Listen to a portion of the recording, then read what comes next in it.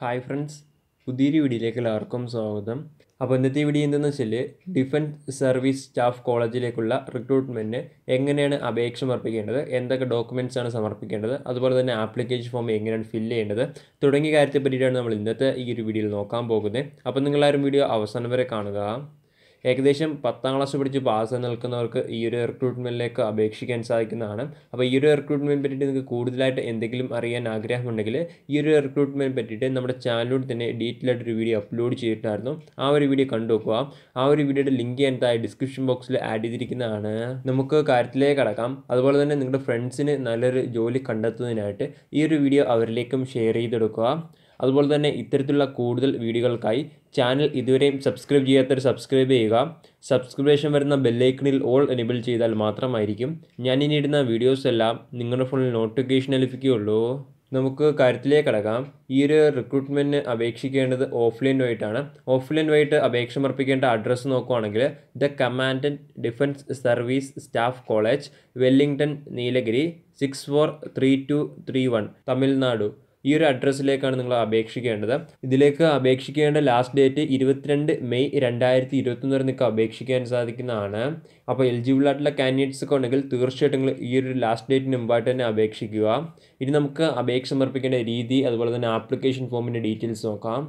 ഇപ്പോൾ സ്ക്രീനിൽ കാണിക്കുന്നതാണ് ആപ്ലിക്കേഷൻ ഫോം ഈ ഒരു ആപ്ലിക്കേഷൻ ഫോം ഡൗൺലോഡ് ചെയ്യാനുള്ള ലിങ്ക് ഞാൻ താഴെ ഡിസ്ക്രിപ്ഷൻ ബോക്സിൽ ആഡ് ചെയ്തിരിക്കുന്നതാണ്. ഈ ഒരു ഒഫീഷ്യൽ നോട്ടിഫിക്കേഷന്റെ അവസാന ഭാഗം ഈ ഒരു ആപ്ലിക്കേഷൻ ഫോമിന്റെ മോഡൽ കൊടുത്തിട്ടുണ്ട്. അപ്പോൾ ഇത് നിങ്ങൾക്ക് അടുത്തുള്ള അക്ഷയയിലോ അല്ലെങ്കിൽ കഫയിലൊക്കെ പോയി കഴിഞ്ഞാൽ പ്രിന്റ് എടുത്ത് വാങ്ങിയിട്ട് നിങ്ങൾക്ക് ആപ്ലിക്കേഷൻ അയക്കാൻ സാധിക്കുന്നതാണ്. ഇനി നമുക്ക് ഈ ഒരു ആപ്ലിക്കേഷൻ ഫോം ഫില്ല് ചെയ്യുന്ന കാര്യത്തെ പറ്റിയിട്ട് നോക്കാം.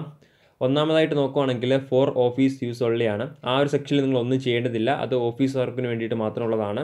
അതിനുശേഷം നിങ്ങൾ തൊട്ട് താഴേക്ക് വരുമ്പോൾ application form for the post of dash നിങ്ങൾക്ക് കാണാൻ സാധിക്കുന്നതാണ്. അപ്പോൾ അവിടെ നിങ്ങൾ എന്താ ചെയ്യേണ്ടതെന്ന് വെച്ചാൽ നിങ്ങൾ ഏതൊരു പോസ്റ്റിലേക്കാണ് അപേക്ഷ സമർപ്പിക്കുന്നത്? ആ ഒരു പോസ്റ്റിന്റെ നെയിമാണ് അവിടെ എഴുതേണ്ടത്. അതിനുശേഷം തൊട്ട് താഴേക്ക് വരുമ്പോൾ ഒന്നാമതായിട്ട് ചോദിച്ചിരിക്കുന്ന നെയിമാണ് അപ്പോൾ നിങ്ങളുടെ നെയിം കൃത്യമായിട്ട് തന്നെ ക്യാപിറ്റൽ ലെറ്ററിൽ അവിടെ എഴുതുക.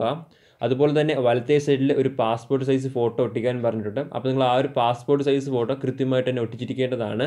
ഈ ഒരു passport size photo self attest ചെയ്തിരിക്കേണ്ടതാണ്. ഈ ഒരു സെൽഫ് അറ്റസ്റ്റ് എന്താണെന്ന് വെച്ചാൽ നമ്മുടെ ആ ഒരു ഫോട്ടോയിലും അതുപോലെ തന്നെ ആ ഒരു ആപ്ലിക്കേഷൻ ഫോമിലും ചേർത്തിട്ട് സൈൻ ഇടുന്നതിനാണ് സെൽഫ് അറ്റസ്റ്റഡ് ഫോട്ടോഗ്രാഫ് എന്ന് പറയുന്നത്. അപ്പോൾ നിങ്ങൾ അത്തരത്തിൽ സൈൻ ചെയ്തിരിക്കേണ്ടതാണ്. ഇനി അടുത്ത രണ്ടാമതായിട്ട് ചോദിച്ചിരിക്കുന്ന ഫാദേഴ്സ് നെയിം ആണ്. അപ്പോൾ നിങ്ങൾ ഫാദേഴ്സ് അല്ലെങ്കിൽ ഹസ്ബൻഡ്സ് നെയിം കൃത്യമായിട്ട് തന്നെ അവിടെ എഴുതുക. ഇനി അടുത്ത മൂന്നാമതായിട്ട് ചോദിച്ചിരിക്കുന്ന ഡേറ്റ് ഓഫ് ബർത്ത് ആണ്. അപ്പോൾ നിങ്ങളുടെ ഡേറ്റ് ഓഫ് ബർത്ത് കൃത്യമായിട്ട് തന്നെ അവിടെ എഴുതുക.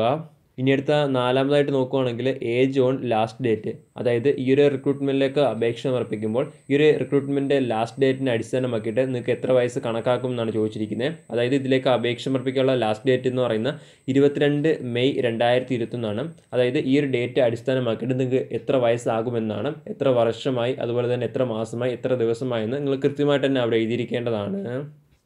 ഇനി അടുത്ത അഞ്ചാമതായിട്ട് നോക്കുവാണെങ്കിൽ കാസ്റ്റ് അല്ലെങ്കിൽ കാറ്റഗറിയാണ് ചോദിച്ചിരിക്കുന്നത് അപ്പോൾ നിങ്ങളുടെ കാസ്റ്റ് അവിടെ എഴുതിയ ശേഷം തൊട്ടപ്പുറത്ത് തന്നെ കാറ്റഗറി വരുന്നതാണ്. അപ്പോൾ അത് ഏതാണെന്ന് വെച്ചാൽ നിങ്ങൾ ജസ്റ്റ് ഒന്ന് ടിക്ക് ചെയ്ത് കൊടുക്കുക ഇനി അടുത്ത ആറാമതായിട്ടും കാറ്റഗറിയാണ് ചോദിച്ചിരിക്കുന്നത് അപ്പോൾ അത് ഏതാണെന്ന് വെച്ചാൽ നിങ്ങൾ കൃത്യമായിട്ട് തന്നെ ടിക്ക് ചെയ്ത് കൊടുക്കുക അതുപോലെ തന്നെ നിങ്ങളുടെ കാറ്റഗറി ഒ ബി സി അല്ലെങ്കിൽ എസ് സി എസ് ടി കാൻഡിഡേറ്റ്സൊക്കെ ആണെങ്കിൽ തീർച്ചയായും നിങ്ങൾ കാറ്റഗറി തെളിയിക്കുന്ന സർട്ടിഫിക്കറ്റ് ഈ ഒരു ആപ്ലിക്കേഷനിൽ കൂടി വെച്ച് അയക്കേണ്ടതാണ്. അപ്പോൾ അത്തരത്തിൽ ഈ ഒരു S C S T candidates അതുപോലെ തന്നെ ഒ ബി സി കാൻഡിഡേറ്റ്സ് എല്ലാം ഈ ഒരു കാര്യം ശ്രദ്ധിക്കേണ്ടതാണ്. ഇനി അടുത്ത ഏഴാമത്തെ നോക്കുവാണെങ്കിൽ എഡ്യൂക്കേഷൻ ക്വാളിഫിക്കേഷൻസ് ആണ്. അപ്പോൾ ഇവിടെ പത്താം class plus two I T diploma തുടങ്ങിയ ക്വാളിഫിക്കേഷൻ എല്ലാം നൽകിയിട്ടുണ്ട്. ഇത് കൂടാതെ നിങ്ങൾക്ക് ഗ്രാജുവേഷൻ അല്ലെങ്കിൽ പോസ്റ്റ് ഗ്രാജുവേഷനൊക്കെ ആഡ് ചെയ്യാൻ സാധിക്കുന്നതാണ് അപ്പോൾ അത്തരത്തിൽ ക്വാളിഫിക്കേഷൻ ഉള്ളവരെല്ലാം ഈ ഒരു ക്വാളിഫിക്കേഷൻ ഫോം എല്ലാം ഫില്ല് ചെയ്തിരിക്കേണ്ടതാണ്. ഇനി അടുത്ത എട്ടാമതായിട്ട് നോക്കുവാണെങ്കിൽ എക്സ്പീരിയൻസിന്റെ കാര്യമാണ് ചോദിച്ചിരിക്കുന്നത്. ചില പോസ്റ്റുകൾക്ക് അപ്ലൈ ചെയ്യുമ്പോൾ എക്സ്പീരിയൻസ് ആവശ്യമായി വരുന്നതാണ്. അപ്പോൾ അത്തരത്തിൽ എക്സ്പീരിയൻസ് ഉള്ള പോസ്റ്റിനാണ് നിങ്ങൾ അപ്ലൈ ചെയ്യുന്നതെങ്കിൽ തീർച്ചയായിട്ടും എക്സ്പീരിയൻസിന്റെ ആ ഒരു സെക്ഷൻ നിങ്ങൾ ഫില്ല് ചെയ്തിരിക്കേണ്ടതാണ്. ഇനി അടുത്ത ഒമ്പതാമത്തെ സെക്ഷൻ നോക്കുവാണെങ്കിൽ ഈ ഒരു സെക്ഷൻ എല്ലാവരും ഫില്ല് ചെയ്യേണ്ടതല്ല. ഈ ഒരു സെക്ഷൻ ആരൊക്കെയാണ് ഫില്ല് ചെയ്യേണ്ടത് നോക്കുവാണെങ്കിൽ സെൻട്രൽ ഗവൺമെന്റ് എംപ്ലോയി അല്ലെങ്കിൽ സ്റ്റേറ്റ് ഗവൺമെന്റ് എംപ്ലോയീസ് മാത്രം ഈ ഒരു ഒമ്പതാമത്തെ സെക്ഷൻ ഫില്ല് ചെയ്താൽ മതി. ഇനി അടുത്ത പത്താമത്തെ കാര്യം നോക്കുവാണെങ്കിൽ മൊബൈൽ നമ്പറാണ് ചോദിച്ചിരിക്കുന്നത്. അപ്പോൾ നിങ്ങളുടെ വാലിഡ് ആയിട്ടുള്ള ഒരു മൊബൈൽ നമ്പർ തന്നെ അവിടെ നൽകുക. ഇനി അടുത്ത പതിനൊന്നാമതായിട്ട് നോക്കുവാണെങ്കിൽ ആധാർ കാർഡ് നമ്പറാണ് പറഞ്ഞിരിക്കുന്നത്. അപ്പോൾ ആധാർ കാർഡ് ഉള്ളവർ തീർച്ചയായിട്ടും ആധാർ കാർഡിന്റെ നമ്പർ കൊടുത്തിരിക്കുക. അതുപോലെ തന്നെ ഈ ഒരു ആധാർ കാർഡിന്റെ നമ്പർ നൽകുന്നവർ തീർച്ചയായിട്ടും ആധാർ കാർഡിന്റെ കോപ്പി ഈ ഒരു ആപ്ലിക്കേഷനിൽ കൂടെ വെച്ച് അയക്കേണ്ടതാണ്. ഇനി അടുത്ത പന്ത്രണ്ടാമത്തെ സെക്ഷൻ നോക്കുവാണെങ്കിൽ ഈ ഒരു സെക്ഷനിൽ നമ്മുടെ അഡ്രസ്സാണ് ചോദിച്ചിരിക്കുന്നത്. അപ്പോൾ നിങ്ങളുടെ അഡ്രസ്സ് കൃത്യമായിട്ട് തന്നെ അവിടെ എഴുതുക. അതുപോലെ തന്നെ അഡ്രസ്സ് എഴുതുമ്പോൾ ശ്രദ്ധിക്കുക. താലൂക്ക് ഡിസ്ട്രിക്റ്റ് അതുപോലെ തന്നെ പിൻകോഡ് സ്റ്റേറ്റ് തുടങ്ങിയ കാര്യങ്ങളെല്ലാം ഉൾപ്പെടുത്തേണ്ടതാണ്. ഇനി അടുത്ത പതിമൂന്നാമതായിട്ട് ചോദിച്ചിരിക്കുന്ന പെർമനന്റ് ഹോം അഡ്രസ്സാണ് അപ്പോൾ നിങ്ങൾ മുകളിൽ എഴുതിയ അഡ്രസ്സും ഈ ഒരു പെർമനന്റ് അഡ്രസ്സും സെയിം ആണെങ്കിൽ അവിടെ നിങ്ങൾക്ക് കാണാൻ സാധിക്കുന്നതാണ് സെയിം ആസ് എബവ് എന്ന്. ആ ഒരു കോളത്തിൽ ടിക്ക് ചെയ്തിരുന്നാൽ മതി.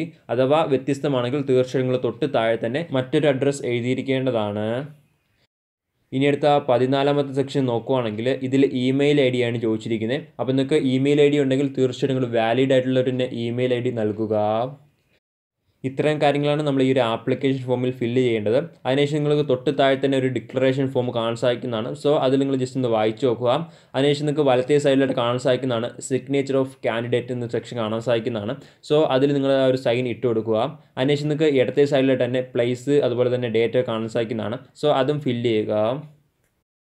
ഇത്രയും കാര്യം ചെയ്യുമ്പോൾ നമ്മൾ ഈ ഒരു ആപ്ലിക്കേഷൻ ഫോം കംപ്ലീറ്റ് ചെയ്യുന്നതാണ്.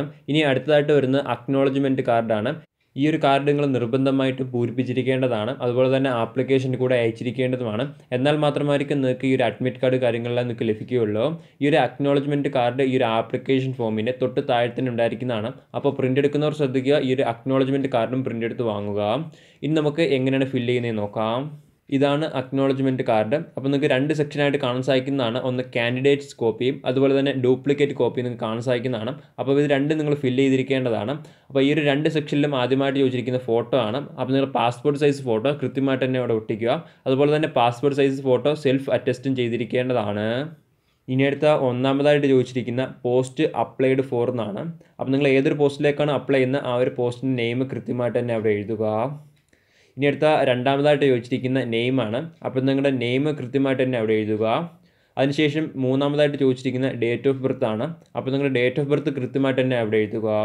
ഇനി അടുത്ത നാലാമതായിട്ട് ചോദിച്ചിരിക്കുന്ന ആധാർ കാർഡിന്റെ നമ്പറാണ്. അപ്പോൾ നിങ്ങൾ ആധാർ കാർഡിന്റെ നമ്പർ കൃത്യമായിട്ട് തന്നെ എഴുതുക.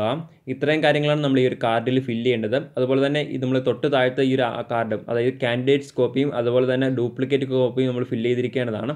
ഇത്തരം കാര്യം നമ്മൾ ഫില്ല് ചെയ്യുമ്പോൾ നമ്മൾ ഈ ഒരു ആപ്ലിക്കേഷൻ ഫോം എല്ലാം ഫില്ല് ചെയ്തിരുന്നതാണ്. ഈ ഒരു മൂന്ന് ഫോം കൂടിയാണ് നമ്മൾ ആപ്ലിക്കേഷനായിട്ട് അയക്കേണ്ടത്. ഇനി അടുത്ത ആപ്ലിക്കേഷൻ അയക്കുമ്പോൾ എന്തൊക്കെ ഡോക്യുമെന്റ്സ് വേണം നോക്കുവാണെങ്കിൽ ഒന്നാമതായിട്ട് വേണ്ടത് എഡ്യൂക്കേഷൻ ക്വാളിഫിക്കേഷൻസ് തെളിയിക്കുന്ന സർട്ടിഫിക്കറ്റ് ആണ് വേണ്ടത്. അപ്പോൾ നിങ്ങൾ പത്താം ക്ലാസ് അതുപോലെ തന്നെ plus two degree I T I തുടങ്ങിയ ക്വാളിഫിക്കേഷനൊക്കെ ഉണ്ടെങ്കിൽ തീർച്ചയായിട്ടും ആ ഒരു സർട്ടിഫിക്കറ്റിന്റെ എല്ലാം കോപ്പി വെച്ചിരിക്കേണ്ടതാണ്. അതുപോലെ തന്നെ കോപ്പി വെക്കുമ്പോൾ ശ്രദ്ധിക്കുക അതെല്ലാം സെൽഫ് അറ്റസ്റ്റും ചെയ്തിരിക്കേണ്ടതാണ്. ഇനി അടുത്ത രണ്ടാമതായിട്ട് വേണ്ടത് എന്താണെന്ന് നോക്കുവാണെങ്കിൽ നമ്മുടെ കാസ്റ്റ് തെളിയിക്കുന്ന സർട്ടിഫിക്കറ്റ് ആണ്. അപ്പോൾ നിങ്ങൾ S C S T candidates അതുപോലെ തന്നെ ഒ ബി സി കാൻഡിഡേറ്റ്സ് ആണെങ്കിൽ തീർച്ചയായിട്ടും ഈ ഒരു സർട്ടിഫിക്കറ്റ് വെച്ചിരിക്കേണ്ടതാണ്. എന്നാൽ മാത്രമായിരിക്കും നിങ്ങൾക്ക് കാസ്റ്റ് പരമായിട്ടുള്ള ഏജ് റിലാക്സേഷന് അതുപോലെ തന്നെ വേക്കൻസീസ് തുടങ്ങിയ കാര്യങ്ങളിലൊക്കെ അലവ് ചെയ്യുകയുള്ളൂ. അപ്പോൾ നിങ്ങൾ ഈ ഒരു കാസ്റ്റിന്റെയൊക്കെ റിലാക്സേഷൻ വേണമെന്നുള്ളവർ തീർച്ചയായിട്ടും ഈ ഒരു കാസ്റ്റ് സർട്ടിഫിക്കറ്റിന്റെ കോപ്പി സെൽഫ് അറ്റസ്റ്റ് ചെയ്ത് ഈ ഒരു ആപ്ലിക്കേഷൻ കൂടെ വെച്ചിരിക്കേണ്ടതാണ്. ഇനി അടുത്തതായിട്ട് വേണ്ട ഒരു കാര്യമാണ് എക്സ്പീരിയൻസ് സർട്ടിഫിക്കറ്റ് അപ്പോൾ ഈ ഒരു എക്സ്പീരിയൻസ് സർട്ടിഫിക്കറ്റിന്റെ കോപ്പിയും സെൽഫ് അറ്റസ്റ്റ് ചെയ്ത് നിങ്ങൾ ഈ ഒരു ആപ്ലിക്കേഷനിൽ കൂടെ വെച്ച് അയക്കേണ്ടതാണ്.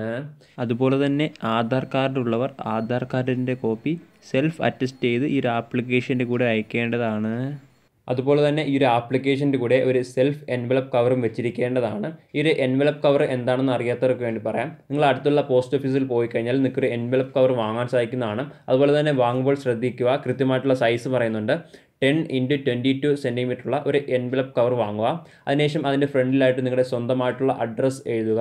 അതിനുശേഷം അതിന് മുകളിൽ ഇരുപത്തിരണ്ട് രൂപയുടെ സ്റ്റാമ്പും ഒട്ടിച്ചിരിക്കേണ്ടതാണ്. ഇത്തരം കാര്യം ചെയ്യുമ്പോൾ നമ്മൾ ഈ ഒരു സെൽഫ് എൻവലപ്പ് കവറിന്റെ കാര്യം കംപ്ലീറ്റ് ചെയ്യുന്നതാണ്. ഇത്തരത്തിൽ ഈ ഒരു സെൽഫ് എൻവലപ്പ് കവർ വെച്ചിരുന്നാൽ മാത്രമായിരിക്കും തിരിച്ചുള്ള അഡ്മിറ്റ് കാർഡും മറ്റ് ഡീറ്റെയിൽസും കാര്യങ്ങളെല്ലാം നിങ്ങൾക്ക് ലഭിക്കുകയുള്ളൂ. അപ്പോൾ അപേക്ഷ സമർപ്പിക്കുന്നവർ തീർച്ചയായിട്ടും ഈ ഒരു സെൽഫ് എൻവലപ്പ് കവറും വെച്ചിരിക്കേണ്ടതാണ്. അതുപോലെ തന്നെ നിങ്ങൾ അപേക്ഷിക്കുന്ന എൻവലപ്പ് കവറിന്റെ മുകളിലായിട്ട് application for the post of നിങ്ങൾ ഏത് പോസ്റ്റിലേക്കാണ് അപേക്ഷ സമർപ്പിക്കുന്ന ആ ഒരു പോസ്റ്റിന്റെ നെയിം അവിടെ എഴുതിയിരിക്കേണ്ടതാണ്. ഇങ്ങനെയാണ് ഈ ഒരു റിക്രൂട്ട്മെന്റിലേക്ക് അപേക്ഷ സമർപ്പിക്കേണ്ട ശരിയായ രീതി എന്ന് പറയുന്നത്. ഇതിലേക്ക് അപേക്ഷിക്കാനുള്ള അഡ്രസ്സ് നോക്കുവാണെങ്കിൽ the commandant defence service staff college Wellington Nilgiri six four three two three one Tamil Nadu. ഈ ഒരു അഡ്രസ്സിലേക്കാണ് നിങ്ങൾ അപേക്ഷിക്കേണ്ടത്. അപ്പോൾ എലിജിബിൾ ആയിട്ടുള്ള കാൻഡിഡേറ്റ്സ് ഒക്കെ ഉണ്ടെങ്കിൽ തീർച്ചയായിട്ടും നിങ്ങൾ ഈ ഒരു അഡ്രസ്സിലേക്ക് അപേക്ഷിക്കുക. അപേക്ഷ സമർപ്പിക്കാനുള്ള ലാസ്റ്റ് ഡേറ്റ് നോക്കുവാണെങ്കിൽ ഇരുപത്തിരണ്ട് മെയ് രണ്ടായിരത്തി ഇരുപത്തൊന്ന് വരെ നിങ്ങൾക്ക് അപേക്ഷിക്കാൻ സാധിക്കുന്നതാണ്.